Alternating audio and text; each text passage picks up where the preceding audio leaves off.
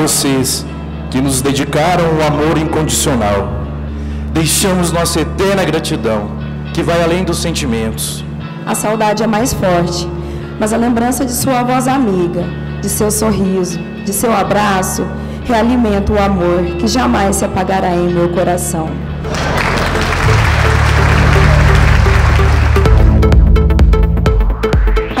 Nos proporcionar todas as ferramentas necessárias para entrarmos no campo de trabalho.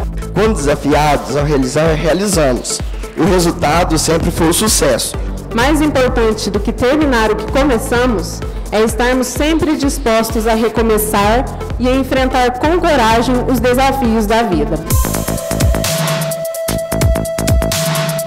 Prometo que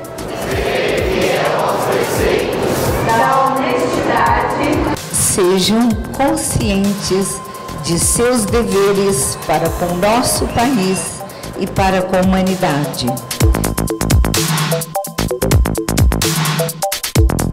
Agora vocês são nossos novos colegas de profissão.